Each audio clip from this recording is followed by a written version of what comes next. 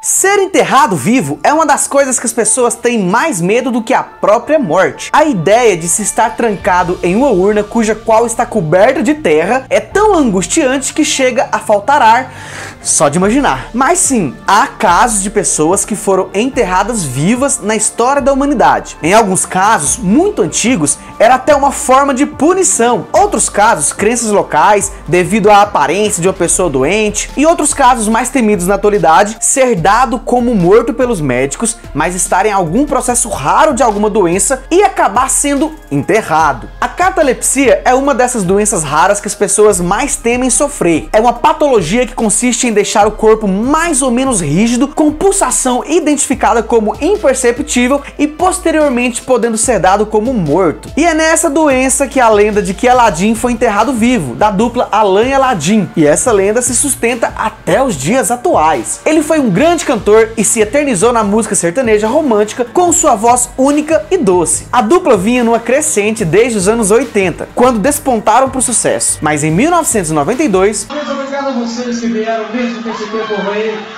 e com esse ânimo todo, né? Obrigado de coração a todos vocês. Aladdin estava sentindo uma dor de dente que demorou a ser tratado, indo até as últimas forças para suportar tal dor, até que decidiu procurar ajuda médica. Tudo indica que ele acabou contraindo uma infecção que atacou também o seu coração, levando assim à morte. Por seu velório ter sido breve e com poucas pessoas presentes, por se tratar de uma pessoa popular, muitas dúvidas começaram a pairar sobre o enterro de Aladdin. Muitas pessoas começaram a ouvir por aqueles dias que Aladdin teria sido enterrado vivo, pois ele tinha catalepsia. Os rumores continuavam a ganhar força com novas informações dadas como verdadeiras pelas pessoas comuns, que começaram a alegar que a família do cantor teria pedido exumação do corpo para verificar tal fato e que ao abrir o caixão teria encontrado encontrado o corpo de bruços, como se o Aladim tivesse revirado de agonia. A tampa do caixão arranhada pelo lado de dentro e no meio de suas unhas, várias farpas de madeira pelo desespero de sair dali. Isso com certeza chocava as pessoas que além de sentirem muito esse fim para um cantor tão querido na época, temiam por passar em situação parecida. E desde 92 vem se sustentando a ideia de que Aladim teria sido enterrado vivo e comprovado pela exumação do corpo. Porém, a família sempre negou essa decisão da exumação, tanto quanto a ideia dele ter sido enterrado ainda com vida, deixando a entender que tudo nunca passou de boatos de pessoas inconformadas e outras maldosas, criando esse clima de dúvida e terror na morte do homem que merecia descansar em paz. O que é estranho nessa história toda são as semelhanças do caso do Aladdin com outras histórias de pessoas famosas e também anônimas. Nos anos 70, um ator muito famoso da época chamado Sérgio Cardoso veio a falecer no auge da carreira, gerando extrema comoção em seus fãs. O enterro foi acompanhado por mais de 10 mil pessoas e após o sepultamento, boatos começaram a correr de que ele teria sido enterrado vivo e que tinha dito a um amigo que tinha catalepsia. E adivinhe só, novamente o boato que a família pediu exumação do corpo,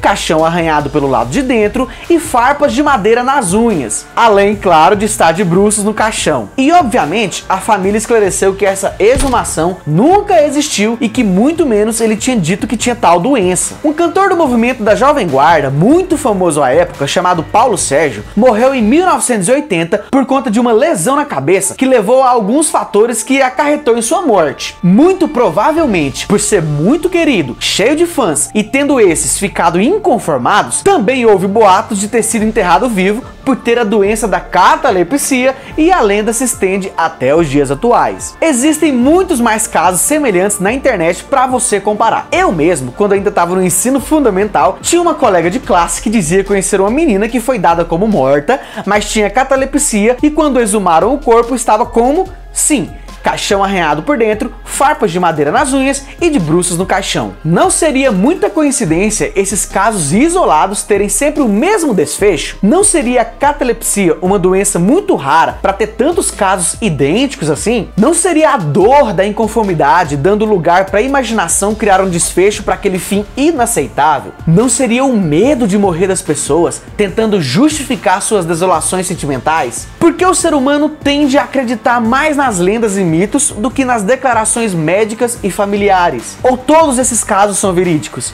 Deixe aqui seu comentário sobre isso. Que vou estar no pôr do sol ou em cada amanhecer. E também relate algum caso parecido que você conheça ou já ouviu falar. E para mais vídeos de cantores que foram enterrados vivos, se inscreva no canal e deixe seu like. Um beijo no seu coração.